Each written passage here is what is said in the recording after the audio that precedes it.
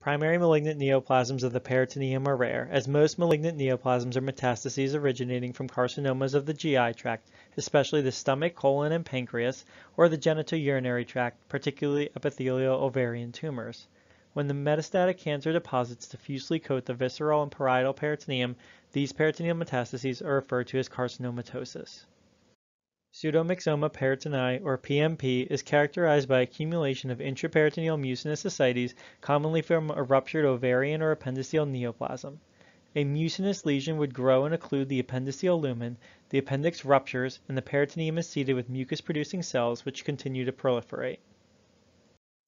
PMP represents a spectrum of disease and can be thought of as two distinct groups. The first is diffuse peritoneal adenomucinosis, characterized by intraperitoneal acellular mucin without tumor cells from a ruptured low-grade appendiceal mucinous neoplasm, formerly known as a cystadenoma, or ruptured appendiceal mucocele.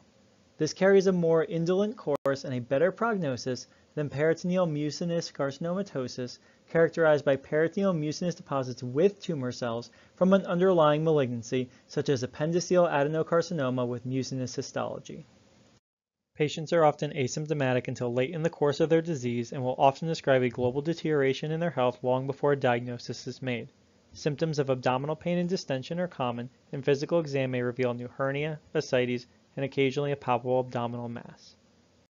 PMP has a classic appearance on CT as intra-abdominal mucin causes scalloping of the liver, spleen edges, and mesentery and can have intermittent calcifications.